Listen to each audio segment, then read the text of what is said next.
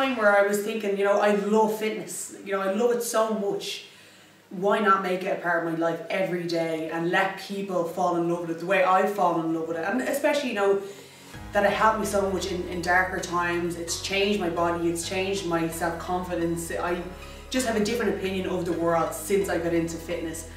So why would I not want to do that, you know, with people on a daily basis? So I guess that's kind of where it's just about helping people and Like, I really want to go and do a really good course. You know, I don't, I don't want to go and just do anyone for the sake. I don't want to just get a cert and just get the label PT because like what does that mean? I want to go and I want to be better than I already am. You know, I've got a lot of experience, but I want real information. It's going to help me help other people. So I did a lot of research. I knew a lot of people that had done the Fitness Institute course. I knew some of the trainers. And between like the, the course curriculum, the workshops, just the support that you get, the nutrition, the, the mobility, for me it was just really, you know, on point. It was contemporary in terms of fitness and what's happening in the industry now.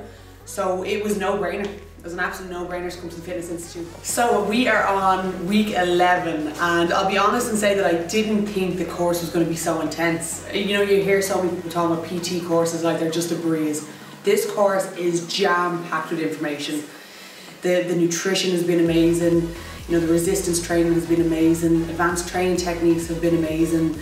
You know, just really on point topics that I want to know that are happening in the industry now. And the support that I've gotten from the teachers, you know, to find confidence in training people and in the fitness industry has just been unbelievable, like it's second to none.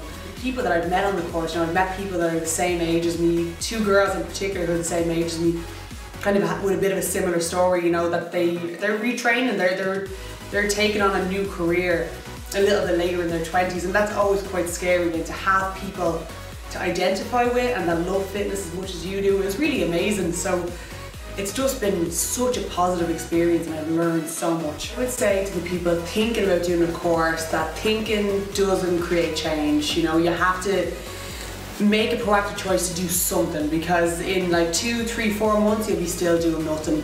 Take action today and see change tomorrow or next.